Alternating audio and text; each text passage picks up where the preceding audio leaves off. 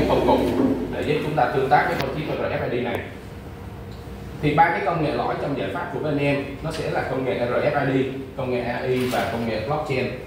Và công nghệ A và RFID thì nó giúp gắn nhãn và theo dõi các sản phẩm à, một cách chính xác và không thể giả mạo.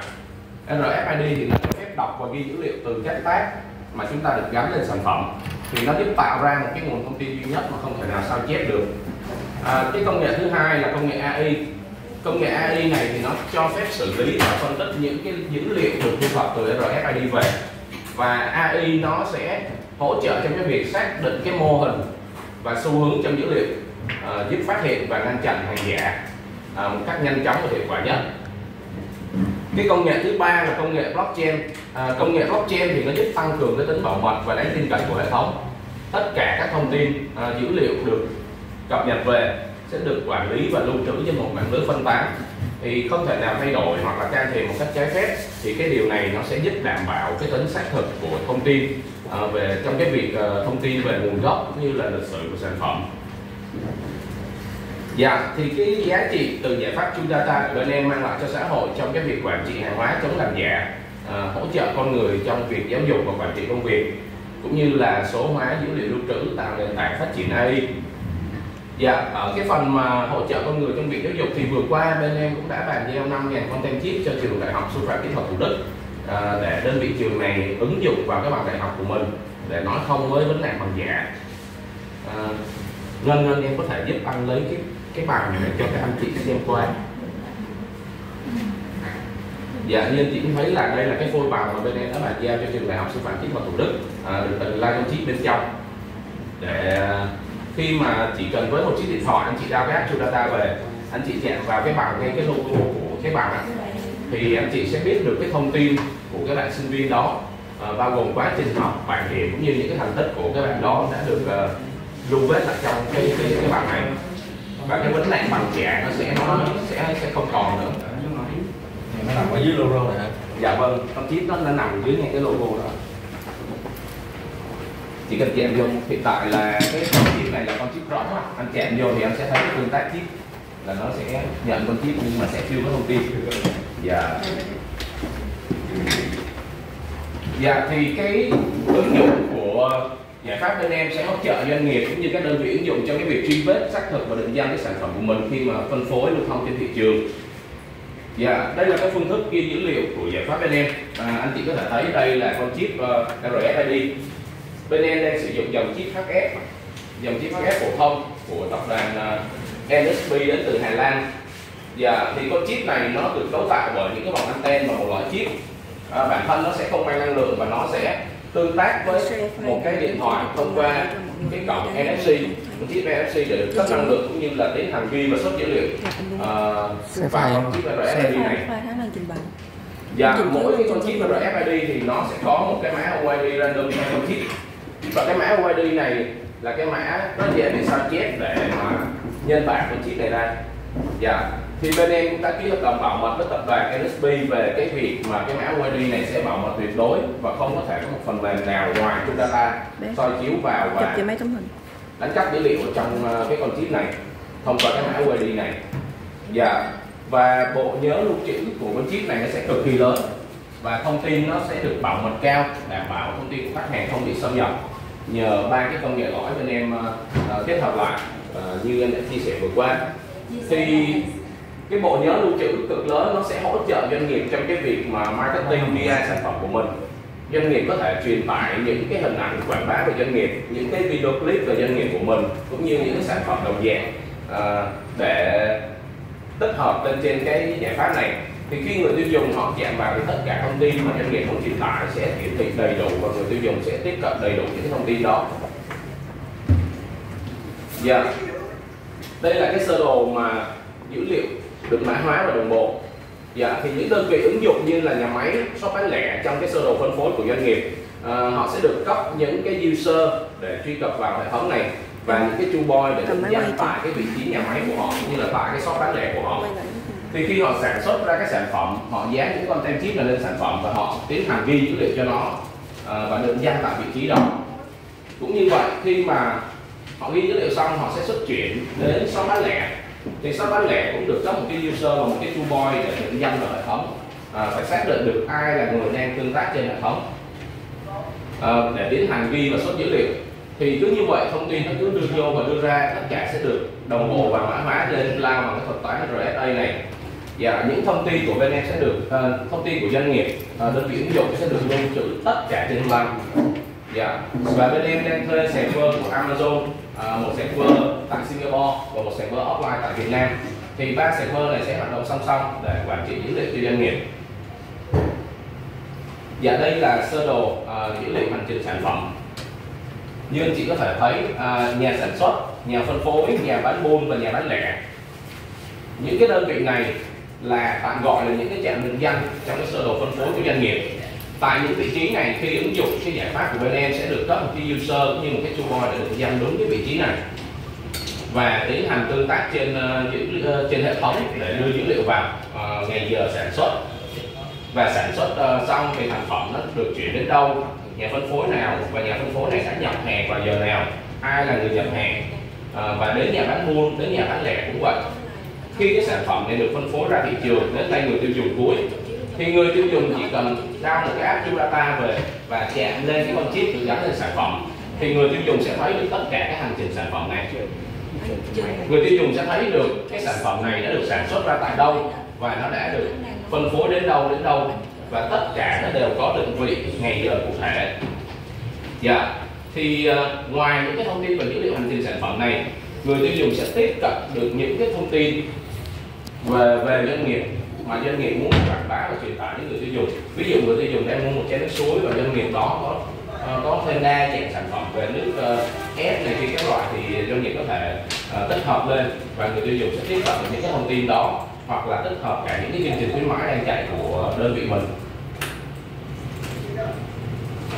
Dạ một cái điểm mà tối ưu và duy nhất độc nhất của bên em là à, hiện tại cái giải pháp của bên em được hai đơn vị bảo hiểm đồng hành là đơn vị bảo hiểm bưu điện với gói bảo hiểm BTI và đơn vị uh, tập đoàn ờ, uh, BIDV với gói bảo hiểm BIC thì hai đơn vị bảo hiểm này đồng hành cùng với giải pháp của bên em uh, để đưa ra cái gói bảo hiểm mua hàng chính hãng.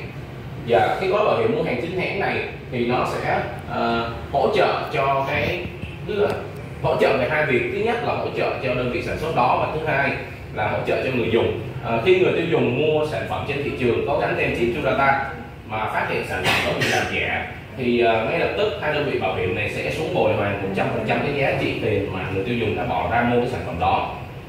Và phối hợp cùng bên Active để thu hồi cái sản phẩm đó về và tiến hành truy vết lại cái hành trình đường đi sản phẩm à, để xem cái sản phẩm đó nó đã được bị tồn vào cái kênh phân phối của doanh nghiệp đó à, vào lúc nào và ai sẽ phải là người chịu trách nhiệm khi mà tồn cái sản phẩm đó vào thị trường à, và xin một điểm em xin lưu ý về cái bảo hiểm này là cái gói bảo hiểm này doanh nghiệp khi mà ứng dụng cái giải pháp sẽ tự chủ trong cái việc là chọn cái gói bảo hiểm hay không hoặc là chọn đơn vị bảo hiểm nào đồng hành cùng với giải pháp anh cùng với sản phẩm của bên mình để hỗ trợ cho người dùng Dạ, yeah. à, em xin chia sẻ thêm về ngoài những cái content chip bên em đang hỗ trợ đến với doanh nghiệp với mức giá là 5.500 đồng một content chip này à, thì để ứng dụng cho đa đa số các ngành hàng và tất cả các ngành hàng à, từ những chai nước suối giá tầm ba bốn ngàn rẻ nhất cũng có thể ứng dụng được cái giải pháp của bên em thì bên em phát triển ra những cái dòng QR code này để hỗ trợ cho những doanh nghiệp kinh doanh những sản phẩm số lượng lớn và giá rẻ và yeah. thì uh, những cái con QR code này hiện tại bên em đang phân phối hỗ trợ phân phối đến với doanh nghiệp với mức giá là một đồng một con QR code một Việt Nam đồng và yeah à, thì những cái con QR code của bên em nó có hai điểm khác biệt với những cái dòng QR code anh chị đang thấy ở trên thị trường hiện nay. Ở hai điểm. Thứ nhất tám cái con QR code anh chị đang thấy ở đây nó là tám cá thể riêng biệt và không trùng lắp với nhau. Dạ. Ờ, yeah. à, QR code bên em là QR code biến đổi. Yeah. cái khác biệt thứ hai là những cái mã QR code của bên em nó đã được đồng bộ theo cái dữ liệu lưu trữ của con chip RFID được gắn trên thùng hoặc gắn ngoài hộp à, giờ em có thể ví dụ như là một hộp yến của chúng ta đang là 8 tám cái hũ yến bên trong. Thì anh chị chỉ cần gắn 8 cái QR code này lên 8 cái hũ yến đó. Và ngoài cái hộp yến anh chị chỉ cần gắn một cái con tem chip chulata là anh chị có thể quản lý được truy xuất nguồn gốc được cái hộp yến đó khi mà phân phối ra thị trường. À, khi người tiêu dùng mua một hộp yến về thì người tiêu dùng quét lên cái con chip á, người tiêu dùng sẽ thấy được bên trong cái hộp yến đó có bao nhiêu sản phẩm. Và loại sản phẩm là loại sản phẩm gì? Kèm theo cái dữ liệu hành trình sản phẩm như vừa nãy em có chia sẻ và tất cả những thông tin doanh nghiệp muốn truyền tải. Dạ đặt trường hợp người tiêu dùng mua lẻ thì người tiêu dùng sẽ quét lên những cái con QR code được dán lên cái hũ uh, cái hũ yến đó. Thì người tiêu dùng sẽ thấy được cái hành trình được đi sản phẩm và những thông tin của doanh nghiệp muốn truyền tải uh, tương tự như là quét lên con chip. Dạ. Dạ đây là một số cái sản phẩm tem chip phổ thông của bên em là những dòng tem giấy à, với nhiều kích thước và nhiều chủng loại sẽ hỗ trợ theo nhu cầu của doanh nghiệp. Dạ. Thì cái giải pháp ờ, uh, Sudata của bên em nó sẽ bao gồm hai cái thành phần. Phần cứng là những cái con tác chip này đây và thiết bị đầu cuối để đọc là chính cái smartphone của người dùng. À, và phần mềm thì là hệ thống xử lý dữ liệu nó sẽ chạy trên nền tảng web và app để hỗ trợ cho doanh nghiệp. À, ở đây em xin chia sẻ về cái tác hiệu này. Dạ như anh chị cũng biết thì cái con chip RFID á, nó sẽ bị nhiễu sóng khi mà gắn lên vật thể kim loại dạ cho nên vừa qua bên em đưa ra cái giải pháp này để hỗ trợ cung cấp cái giải pháp cho tập đoàn Tosenco à, để quản lý những cái cuộn tôn khi mà phân phối ra thị trường của tập đoàn. Thì cái con chip nó sẽ được lay bên trong cái lỗ nhựa này và cái tác này sẽ được móc lên cái cuộn tôn để có thể mà tương tác với con chip để ghi dữ liệu và xuất dữ liệu. À, ngoài ra những cái tác này cũng được ứng dụng nhiều trong cái việc mà à, làm những cái siêu block container à, xuất khẩu hoặc nhập hàng hóa thì anh chị chỉ cần với cái quy trình vừa rồi anh chị chỉ cần chạm lên một con chip này là anh chị sẽ biết là trong container đó có những cái dòng sản phẩm nào và số lượng hiện tại hàng hóa trong container đó là bao nhiêu yeah. Và ngoài ra cái con tác chip này hiện tại cũng đã được ứng dụng cho tập đoàn Sông Ngọc Linh trong cái việc kiểm soát những cái cây giống của tập đoàn như Sông Ngọc Linh yeah. Nó có thể áp dụng và ứng dụng cho đa số các ngành hàng đa, đa, đa số các ngành hàng và tất cả các ngành hàng đang phân phối thị trường Dạ, thì với giải pháp của bên em, ờ, nhà ứng dụng ghi dữ liệu vào tác bằng một chiếc điện thoại và người tiêu dùng khi mà mua hàng hóa lưu thông trên thị trường muốn kiểm tra sản phẩm đó là thật giả của nhà cung cấp nào và có chương trình gì hoặc thông tin nhà cung cấp nó ra sao cũng chỉ với một chiếc điện thoại. Và nó sẽ hỗ trợ cho các nhà chức trách trong cái việc mà kiểm tra hàng hóa lưu thông trên thị trường. À, cũng chỉ với một chiếc điện thoại là các nhà chức trách sẽ kiểm tra được cái sản phẩm này là nó có minh bạch doanh nghiệp này nó có minh bạch và đầy đủ uh, giấy tờ hợp pháp khi mà lưu thông hàng hóa trên thị trường hay không. Dạ thì uh, vừa qua là bài chia sẻ của em về cái giải pháp Judata của công ty cổ phần công nghệ chống giả Việt Nam. À, dạ em xin cảm ơn anh chị đã lắng nghe. Dạ. dạ. à, chưa xong đâu mà đó đi. Rồi chia sẻ với mọi người bởi vì chị cái ngày lễ ra mắt. À, hôm nay cũng có nhiều các anh chị à, em mới cho nên là chắc là mình cũng xin phép là sẽ à, chia sẻ thêm một số tư liệu về công ty. à, sau đó sẽ nói về cái chiến lược tầm nhìn của công ty và cách để tiếp cận các doanh nghiệp và doanh nghiệp cần cái gì trong nhu cầu cái việc mà để truy xuất nguồn gốc cho từng sản phẩm của từng doanh nghiệp ha. Mở giùm chị cái video của video gì video nhanh video của ngày lễ ra mắt thôi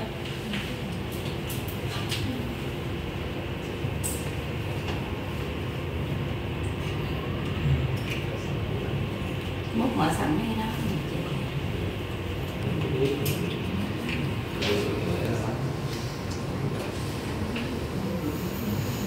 video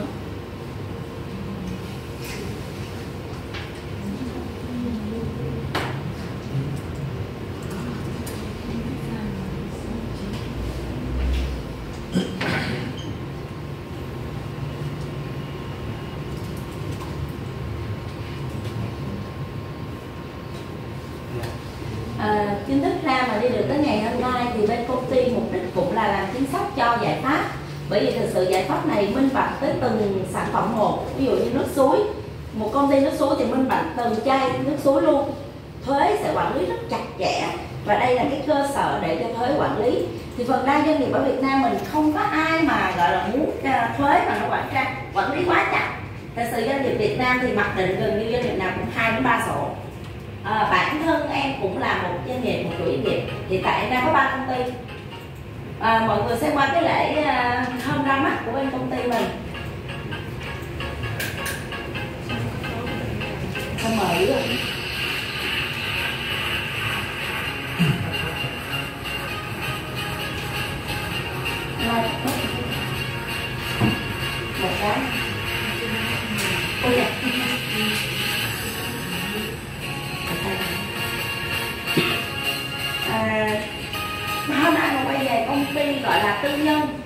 đã là qua một cái quá trình từ bên trung tâm công nghệ chống hàng giả Việt Nam từ việc công nghệ chống hàng giả Việt Nam. Và nay mình vươn tầm ra thế giới rồi thì mình mới trở thành về một công ty. Sau khi hoàn thiện xong vấn đề xây dựng chính sách thì bắt đầu quay về trở thành công ty để mà mình có thể uh, xúc tiến thương mại sang nước ngoài mà không phải vướng một số các cơ chế của chính sách của nhà nước. Chính thức lễ ra mắt của công ty là đi sàng lọc được hơn 2 tháng. Nhưng đây là xuất tổng xuất tổng nguyên là vị trưởng viện kiểm sát an nhân thương mại của viện cấp cao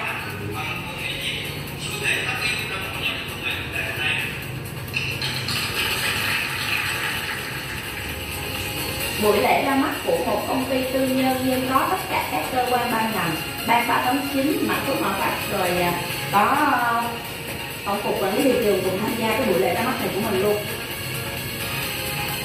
anh lê à, là gì? phó tổng cục dịch vụ quản lý thị trường việt nam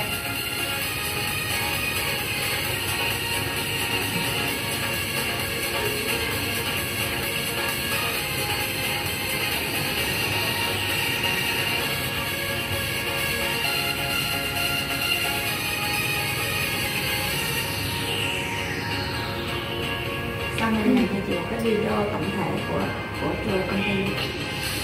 bây giờ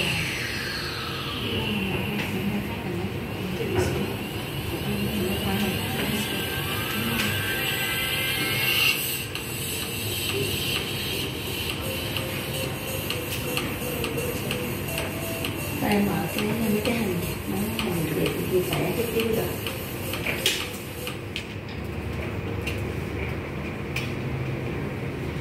đây là cái ngày lễ ký kết là ngày 18 tháng 7 chắc chắn ha các anh chị em đây đều thắc mắc là công ty này mới thành lập. Nhưng để đi đến ngày hôm nay thì cái giải pháp Dolata được nghiên cứu ra từ 2008 là đón trước được NFC sẽ đưa vào điện thoại để thanh toán tiền tệ. À, cái giải pháp tem chip truy xuất nguồn gốc này á, đối với châu Âu và Mỹ các nước à, nước ngoài tiên tiến á, thì họ đã ứng dụng vào các sản phẩm cao cấp của họ từ cách đây hơn 10 năm rồi. Và thiết bị đầu cuối của họ phải là khoảng 50 triệu còn nếu Trung Quốc làm ra cũng phải mất 30 triệu cho cái thiết bị đầu cuối để đọc được cái con các con chip. Thì đến năm 2008 bên Jurata nghiên cứu ra là trước sau cái NFC cũng đưa vào trong điện thoại để thanh toán tiền tệ và họ đi trước đón đầu. Họ xây dựng một cái phần mềm mà họ ấp ủ chờ đến ngày điện thoại được gắn uh, chip NFC bên trong. Thì đến 2018 thì iPhone và Samsung đã gắn NFC vào trong điện thoại để thanh toán tiền tệ và họ đưa ra để đăng ký sở hữu bản quyền ở cục sở hữu trí tuệ Việt Nam. Thì hiện tại bây giờ là sở hữu bản quyền của bên uh, truy xuất nguồn gốc chống giả mà đọc dữ liệu bằng NFC điện thoại thì thuộc bản quyền của bên công ty của Trudata và Trudata với lại bên công ty mình thì có đồng cổ phần. Và bên Trudata thì uh, là đơn vị nghiên cứu ra giải pháp còn bên Active của mình là đơn vị phân phối giải pháp. Toàn quyền phân phối giải pháp này. Tất cả đều đẩy về bên Active để triển khai cái thị trường à, cung ứng cái cái cái à, dịch vụ về truy xuất nguồn gốc bằng tem chip cho toàn thế giới.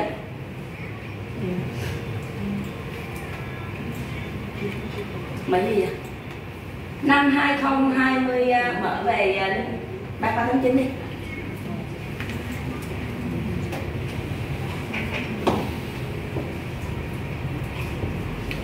Năm 2022 bên ban 389 có mời bên Surata qua để tham dự trình bày một cái giải pháp cho hiệp hội xe gắn máy Việt Nam.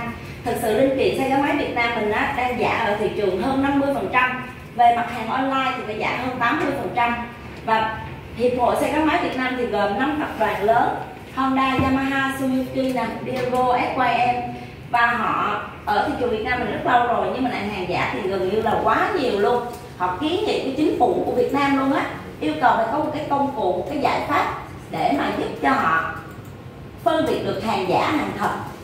Cái ngày mà họ làm cái chương trình hội thảo này á thì cái giải pháp mà họ chống giả chỉ là những cái sự khác biệt giữa hàng thật và hàng giả. Tức là họ trưng bày hàng giả ngoài thị trường và họ trưng bày cả hàng thật. Thì để mà cơ quan nhà nước mà họ phân biệt được ví dụ như tem đi tem thì họ bảo là nhìn nghiêng thì nó có ánh ánh gì đó. Rồi uh, Ừ, à, sản phẩm họ thì bao bì, cái này nó loại nhựa này, rồi cái bao bì giả nó loại nhựa kia, nhưng thực sự đều làm giả được hết. Mà để phân biệt được cái đó thì người tiêu dùng mình không bao giờ biết cách để mà phân biệt. Anh anh anh, qua bên phương lấy mấy cái ghế để cho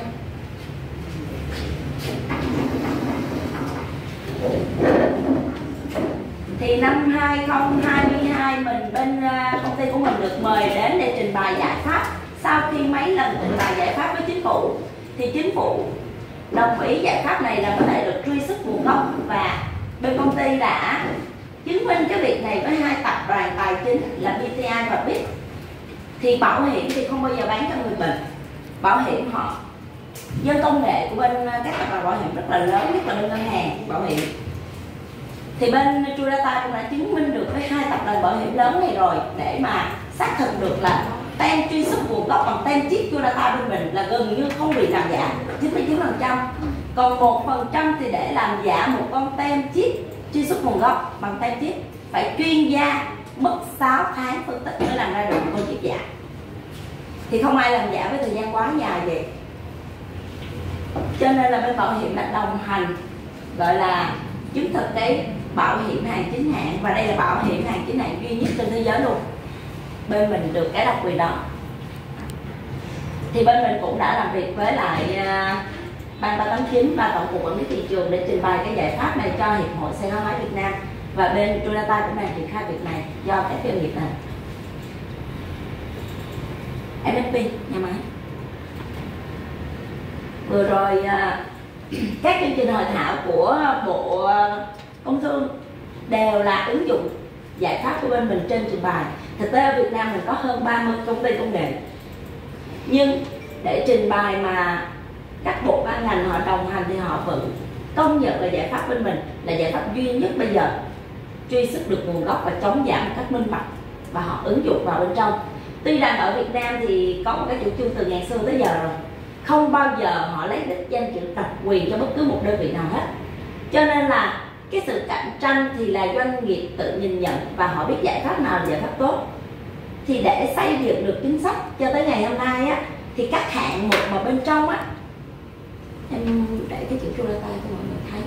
Các hạng mục bên trong để mà xây được thành chính sách mà để làm truy xuất nguồn gốc để ứng dụng cái cái churata này á, thì nó đủ các điều kiện, tiêu chí để mà tất cả các đơn vị đối thủ khác về công nghệ họ không xen vào cái bản quyền này của mình sự do công nghệ rất thông minh. Mà chị nghĩ ở đây chắc cũng nhiều người làm công nghệ.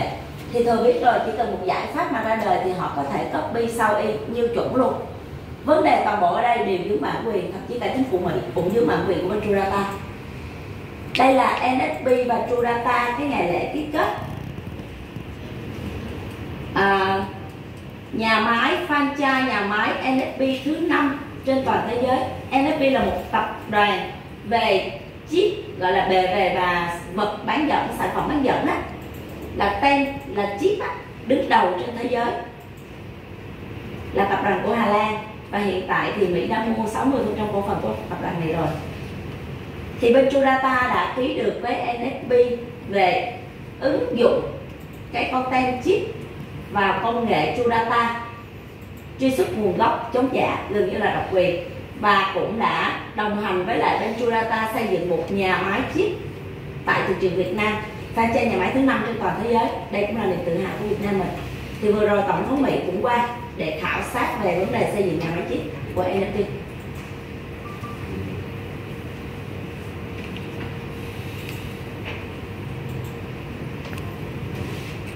đây là trong buổi lễ ký kết thì có các cơ quan ban ngành cùng để mà tham gia à, để đi được tới ngày hôm nay thì chắc là em xin nói lại là để đi được tới ngày hôm nay á, là công ty đã qua một cái quá trình từ trung tâm hiệp hội chống hàng giả Việt Nam. Đến viện công nghệ chống hàng giả Việt Nam và đến ngày hôm nay thì mình chính thức xây dựng xong chính sách để trở thành mình quay trở qua thành công ty để hợp thức hóa cái việc phát triển thị trường. Bởi vì nếu mình để phi chính phủ thì mình vướng rất nhiều cơ chế của chính sách của nhà nước mà mình không vươn ra được quốc tế à, trong năm nay mình có ba chương trình hội thảo rất lớn. Khi cổng truy xuất quốc gia xong thì à, buổi lễ ký kết giữa Việt Nam và Mỹ về ứng dụng giải pháp data của bên mình cho tất cả những mặt hàng xuất khẩu sang Mỹ và từ Mỹ về Việt Nam. Cái này cũng có văn bản nha văn bản của liên hiệp hội à, Việt Nam Hoa Kỳ ở tại Việt Nam gửi ban 389 đề nghị ứng dụng giải pháp của bên mình. Văn bản đó mấy nó được chung cộng là bữa nó để chung cộng là gì cái này sẽ gửi lại lên nhóm, nếu mọi người người nào chưa có đó thì chắc Mỹ sẽ gửi lại lên nhóm cho tất cả các anh chị em ha. Đây là ngày 12 tháng 4 trong năm 2023 này cũng là mới đây mấy tháng. Thì sau khi chứng minh với với lại chính phủ Mỹ về cái giải pháp Surata của mình là truy xuất nguồn gốc giống hàng giả minh bạch và không bị làm giả. Ít nhất là trong giai đoạn này là giai đoạn mà Churata đang là cái giải pháp gần như là tối ưu nhất về vấn đề truy xuất nguồn gốc và chống giả. Thì trong đây thậm chí là chính phủ Mỹ họ cũng chia sẻ luôn cái vấn đề là ứng dụng giải pháp Churata Data và họ, bên mình cũng đã làm đề án để trình chính phủ Mỹ về giải pháp này của mình rồi và đã được công nhận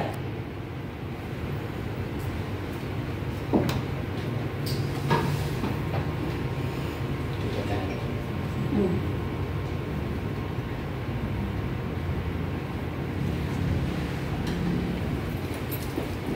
Nó mốt để một cận đi chị rồi mở thêm cái ờ, cái về truy xuất nguồn gốc gửi lại cái bản về truy xuất nguồn gốc sầu riêng chắc là để nói sâu hơn vấn đề cái giải pháp này nó làm được cái gì nha truy xuất từ mã vùng tới tay người tiêu dùng. Em để đường đi sản phẩm cũng được.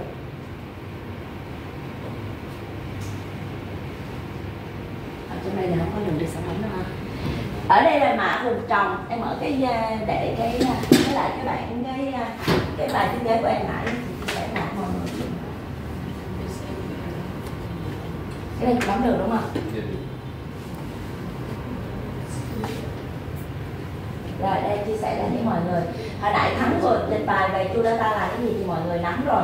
Thì à, bây giờ à, ờ, công nghệ thì họ nói sâu về công nghệ. Nhưng mà à, mình thì mình sẽ nói về vấn đề ứng dụng công nghệ này vào trong doanh nghiệp như thế nào cho nó thực tiễn hơn để mọi người cũng dễ hiểu. Thật sự ra dân kinh doanh ở đây phần đa là cũng không biết gì về công nghệ đâu. Bản thân mình cũng không biết gì về công nghệ hết trơn á. Nhưng mà qua trao đổi làm việc thì mình biết được nó ứng dụng công nghệ trong đây là như thế nào về mảng mã hóa công nghệ nè và ứng dụng cái chu bôi chu bôi là giống như một cái thẻ ngân hàng. Khi mà muốn kích hoạt được một cái app này bởi vì tất cả chỉ dùng bằng một cái điện thoại, doanh nghiệp hoặc là chủ doanh nghiệp hoặc là nhân sự của doanh nghiệp muốn kiểm tra cũng bằng điện thoại, muốn ghi dữ liệu cũng bằng điện thoại, muốn nhập kho, xuất kho cũng bằng cái điện thoại. Nhưng từng khâu đều phải có cái chuông này. Có nghĩa là mỗi một user con đều có một cái chuông nó giống như cái chìa khóa và một cái bắt quẹt, bắt password giống như password của bên ngân hàng cho mình vậy đó và một cái thẻ ngân hàng. Thì mình phải có được cả hai cái đó mình mới kích hoạt được. Là cái thứ nhất thứ hai ngoài hai cái này ra mình còn phải tên tọa độ vị trí nữa. Ví dụ à, mình ví dụ đi bên công ty ký được một cái hợp đồng về vải ở Bắc Giang. Thì mã vùng trồng ở vải ở Bắc Giang á ví dụ như 100 hecta thì à, họ cho đặt được một cái mã vùng trồng của vải đó để họ cung cấp được đủ 10 ngàn 50 ngàn tấn vải mỗi năm cho Úc. Thì tại Úc có một đơn đặt hàng là 50 ngàn tấn vải của Bắc Giang mỗi năm qua sang Úc, nhưng đều phải có tem chip truy xuất nguồn gốc. Đây là đơn hàng mới ghi nhận. Thì yêu cầu của họ là vải thì hiện tại đã có hai thị trường, Bắc Giang và Hải Dương, nhưng họ yêu cầu là vải Bắc Giang. Thì để mà ở bên đó họ xác thực được cái vùng vị trí tọa độ là phải Bắc Giang. Nhưng ở trong ngay cái đó, Việt Nam mình có một cái là 100 hecta không phải là một hộ dân. Mà đây là họ một tác, hợp tác xã họ đứng ra để họ tập hợp.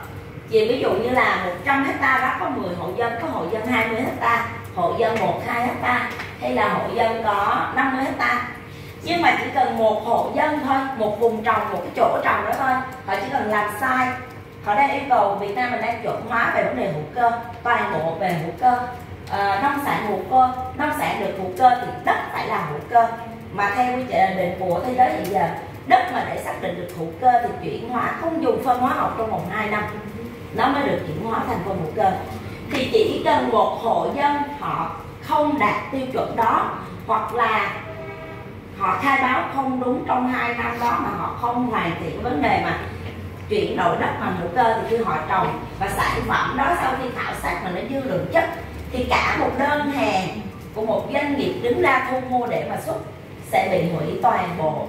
Mà cái hậu quả mà khi mà doanh nghiệp mà họ làm nhất là những doanh nghiệp thương mại họ tập hợp họ thu gom lại hàng và chỉ cần một đơn hàng trà trộn thôi một container hàng bị trà trộn hoặc một uh, lô hàng bị trà trộn mà có dư lượng chất thì lập tức nguyên một lô hàng sẽ bị trả ngược về hết thì những người đó chỉ có phá sản thôi, chứ không thể nào tồn tại nổi. Bởi vì sản phẩm rất nhiều và trả về trái cây, nhất là trái cây. Trả về là gần như là bỏ. Thì cái mã vùng trồng của mình, ví dụ 10 hộ dân, thì bên giải pháp bên này ứng dụng được cái việc là xác thực được vị trí tọa độ của hộ dân nào cung cấp lô hàng đó. Ví dụ như hộ dân A có 2 hecta, hộ dân B có 10 hecta. Thì hộ dân A, họ muốn họ sẽ tập hợp lại. Ví dụ hai hecta họ sẽ có một cái ờ, địa điểm để mà tập hợp, hái vải về nơi đó để đóng vào càng xé, xong sau đó họ mới đưa vào hợp tác xã. Thì nó có một cái điểm tập hợp. Thì điểm tập hợp của nó, khi họ gửi tọa độ vị trí cho mình, xác định tọa độ vị trí của nhà hộ dân nga thì họ sẽ được cấp một cái trụ bôi ghi định xác định tọa độ vị trí, cộng với một cái bát ruột thì chỉ khu vực trong hai hecta đó, nhưng mà cái chỗ mà họ tập hợp, ví dụ 50 mét vuông 100 mét vuông hoặc 1 ngàn mét vuông là cái kho của cái cái cái hộ dân A đó thì họ chỉ được ghi dữ liệu trong phạm vi đó thôi. Ra ngoài phạm vi họ không thể nào lấy cái à, uh, trung này nè với lại cái mắt quật họ chạy qua cái hộ dân B để mà họ ghi dữ liệu là họ nhập hàng tại đây. Tức là không ra khỏi được vị trí tọa độ xác định từ ban đầu. Thì họ chỉ được ghi dữ liệu ở hai hecta của họ mà nằm trong phạm vi 100, 200 hay 500 mét vuông tùy theo họ xác định kho của họ là diện tích bao nhiêu. Hoặc là 20 mét vuông tùy họ. Thì tập hợp hàng về đó bắt đầu là chuyển về hợp tác xã. Thì hộ dân B cũng vậy. Hộ dân B cũng sẽ tập hợp hàng về cái khu đất của hộ dân B. Thì họ cũng sẽ được cấp một cái turbo và họ cũng ghi được cái tọa độ vị trí ngay đúng cái điểm của hộ dân B. Có nghĩa hộ dân B mà hàng họ không đủ chất lượng, họ cũng không để nửa đêm nữa hơn họ chạy qua hộ dân A để họ đóng hàng được. Có nghĩa họ không ghi được dữ liệu ở một cái nơi không phải là của họ vị trí tọa độ này là cái điểm thứ ba giúp cho doanh nghiệp, giúp cho sản phẩm của doanh nghiệp không bị giảm. Chỉ cần như ví dụ ông hội dân a, ổng không làm đất tổng thành hữu cơ, mà ổng dùng hóa học cho nó rẻ tiền, cho nó đạt hiệu quả, thì chỉ cần một ông hội dân a đưa vào một cái lô hàng này thôi, thì lập tức lô hàng này khi mà bên kia người ta kiểm tra dư lượng chất, người ta trả thì trả về cả 50 ngàn tấn vải, và cắt luôn cả đơn hàng và phải bồi thường. Chỉ cần một hộ dân, một người làm sai thì trong đó mọi người phải điều chỉnh cái hậu quả là toàn bộ. Cái này tránh trường hợp là hộ dân họ làm sai. Đây là đang nói về nông sản. Còn về doanh nghiệp mình cũng vậy. À, chủ doanh nghiệp không làm sai. Ví dụ như uh, Nike à, giày dép Nike đi họ nhập hàng từ uh, nước ngoài về. Và đơn vị này là đại lý cấp 1 họ nhập được tổng thể về và bắt đầu họ phân phối cho tất cả các đại lý các hai các ba của họ nhưng nhân viên họ nhập về chủ thì nhập về họ không làm sai đâu. Nhưng nhân viên khi mà vào kho, nhập kho thì hàng về chưa có tem chip mà. Họ ghi dữ liệu từ tại Việt Nam chứ họ không ghi dữ liệu từ bên kia. Thì hàng nhập kho hải quan rồi về tới kho của họ. Thì cái bạn trưởng kho đó, bạn cố tình đưa một lô hàng tương tự để bạn làm giả. Thì bạn sẽ lấy chip này bạn ghi vào trong cái dữ liệu mà cái sản phẩm bạn đưa về bạn trà trộn giữa hàng giả hàng thật. Hàng thật bạn tuồn ra ngoài, hàng giả bạn đưa vào trong thì bạn dán tem chip và bạn ghi dữ liệu. Thì cái bạn mà muốn nhập kho và xuất kho, bản thân bạn cũng được chủ doanh nghiệp cấp cho một cái bon và xác định cái kho đó nó nằm trong vị trí tọa độ đó mới được ghi hàng nhập vào. Có nghĩa là bạn không được nhập kho tại nhà của bạn, không được nhập kho tại một cái nơi khác để bạn đưa sẵn về. Mà bạn phải vào trong công ty đó, vào đúng cái kho đó, bạn mới kích hoạt cái coupon này lên. Và bạn mới đánh cái mã mã số vào bạn nhập lô hàng đó. Bạn dán tem chip lên trên nhãn máy và bắt đầu kích hoạt cái có tem toàn bộ tem của mình là tem rộng.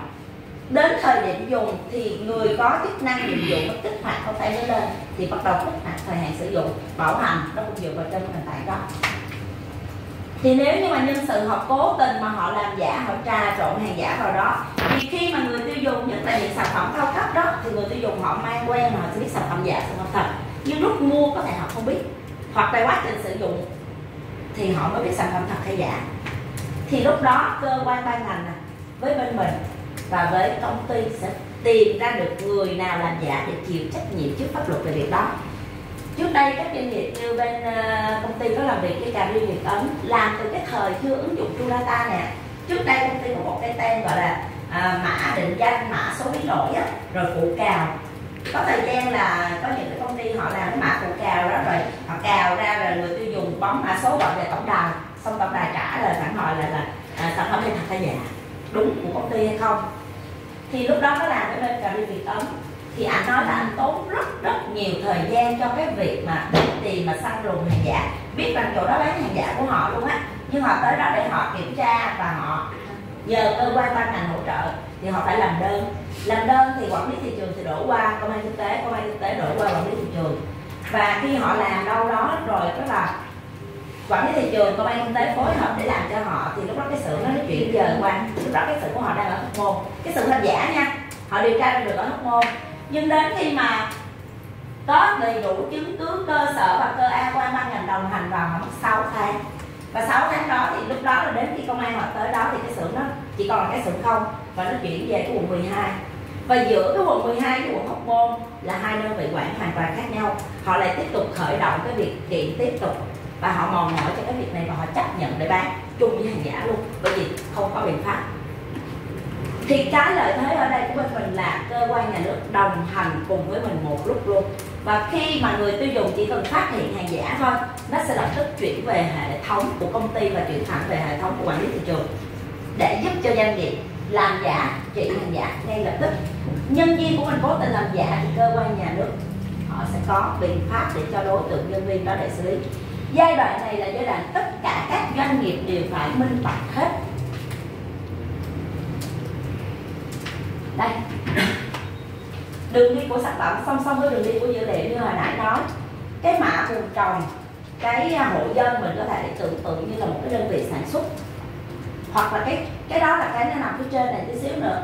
Nó truy xuất uh, xác định mã vùng trồng ở đây xong xuôi với tập hợp về hợp tác xã từ hợp tác xã nó qua các khâu khử khuẩn hay là như thế nào đó để đạt các tiêu chuẩn để bắt đầu đưa hàng lên xe xe container. Bắt đầu từ container bắt đầu nó chuyển đi. Ở thị trường Việt Nam tới các siêu thị tới đại lý của các tỉnh à, 63 tỉnh thành hoặc là đến các siêu thị. Hoặc là xuất đi nước ngoài thì đường đi của dữ liệu song song với đường đi của sản phẩm luôn. Sản phẩm đi tới đâu dữ liệu kích hoạt đó. Kích hoạt ở đây không phải là GPS đâu nha mọi người à, dữ liệu đi đây không phải không phải là đi của CBS, CBS là định vị tọa độ. Nhưng ở đây là quá trình xuất kho và nhập kho đều có con người ghi dữ liệu. Và giải pháp của mình là chỉ là giải pháp truy xuất nguồn gốc sản phẩm chống giả cho cái sản phẩm đó thôi. Và bảo vệ doanh nghiệp bảo vệ người tiêu dùng. Chứ không phải là xác định tọa độ của cái đường đi là GPS ở trên trời mà nó nó nó đi theo cái, cái giống như cái hộp đen đâu đó chỉ là nhập kho và xuất kho. Thì người nào nhập kho người nào xuất kho đều có một cái quyền và một cái bát có nghĩa là một cái chua cái cái cái cái chua bon và một cái bát để mà làm cái việc đó để giúp cho doanh nghiệp phân biệt được hàng thật hàng giả do ai. Xin hỏi ví dụ như xuất xuất đến cái ờ, đại lý AB đi. Thì Ừ. cái đại lý AB đa số bây giờ họ có cái phần mềm để nhập hàng riêng của họ rồi. Họ Ừ. nhập lên cái hệ thống của họ. Như vậy thì làm thế nào để liên được cái hệ thống của họ với cái tool data của mình? À, tức là cái giải pháp nào để mà mình biết được cái việc đó? Tức là như thế này cái AB nó chỉ là một đại lý thôi. Một đại lý để quản thôi. Thì cái phần mềm này á thực sự là bây giờ á, nếu như mà cái tổng công ty nào quan trọng là cái tổng công ty họ ứng dụng nè thì nếu như họ có một cái phần mềm sẵn thì mình mới đổ dữ liệu vào trong đó. Cái đổ dữ liệu này thì nó đi qua một cái cổng thôi chứ nó không bắt buộc là phải thay đổi một cái phần mềm cũ. Nhưng nếu tới đây mà họ ở đây thì họ cũng chỉ là một phần mềm quản lý kho hoặc một phần mềm kế toán thôi, để quản lý thôi, đúng không?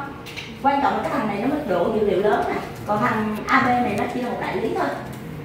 Không nhưng mà cái theo như vậy để hiểu là ví dụ như nhà sản xuất đi, sau khi họ sản xuất xong họ nhập dữ liệu vào chip đó, đúng không? Họ chuyển qua cái đại lý là AB đi. Ừ. AB nhập xong rồi bán cho ABC Ừ. cái ABC lại bán cho ABCD Ừ. và từ ABCD mới ra được nhà bán lẻ và người tiêu dùng. Đúng rồi. Thì lúc đó người tiêu dùng chỉ check con chip này sẽ biết được là nhà bán lẻ nào bán cho mình. Rồi biết được cái đại lý nào ABCD nhận hay không hay là chỉ biết được là nhà bán lẻ đó và nhà sản xuất thôi. Tức là người tiêu dùng này nè khi mà họ quét cái con tem mà họ mua sản phẩm thì họ sẽ nhìn được đường đi của từ nhà sản xuất đi vòng vòng vòng vòng vòng tới đây qua AB ABC nói chung là biết hết toàn bộ dữ liệu rồi như vậy thì cái em là lại câu hỏi lúc nãy hoặc là cái dữ liệu đó để nó vào được cái ABCD đó thì nó nó nó, liên kết như thế nào tại Rồi. vì mỗi một cái nhà ABCD họ có cái phần mềm riêng của họ nhập lên À, là em mua này. em mua 10 sản phẩm về đi Ừ. thì cái gói em sẽ nhập lên 10 sản phẩm lên hệ thống em thì Rồi. làm sao cái hệ thống em có thể liên được tới cái phần mềm này thì nếu vậy không được bắt buộc mình phải dùng chung một hệ thống tại hệ thống là lưu dữ liệu. Dữ liệu của bên em là phần mềm bên em đang kích hoạt dữ liệu bằng tay. Nhân sự của em nhập vào phần mềm đó để quản lý thế thì em thay đổi hệ thống để quản lý cái gói hiện tại à? cái này logistics hả À, không, anh chia sẻ với các anh chị một chút ha. Tức là cái đường đi của nó là như vậy. Có nghĩa này, ở đây mình sẽ nãy giờ những thông tin cụ thể á, Thì các anh chị đã thấy rồi. Nhưng mà mình có thể mình tóm gọn một chút cái thông tin chung lại có nghĩa là đây đầu tiên là đối tượng của hai các tiếp mà chưa ta các anh chị đã biết rồi ha. Đối tượng của họ rồi thì ở đây có nghĩa là tất cả các anh chị ở đây thì đều là những người đều là có thể là đầu tiên mình sẽ là đại lý là mình đang tìm hiểu. Thì ở đây có nghĩa là đối tượng khách hàng của mình có nghĩa là sẽ gồm hai. Thứ nhất là hợp tác xã này, đúng chưa? Nãy vùng trồng đó, hợp tác xã. Thứ hai là gì? Doanh nghiệp này, đúng không? Thứ ba là gì? Là những đơn vị phân phối nó gọi là những cái đại lý á tại vì phía sau nó gọi là những cái phải hàng. FNCD á là nó có nhiều hoặc là những cái đơn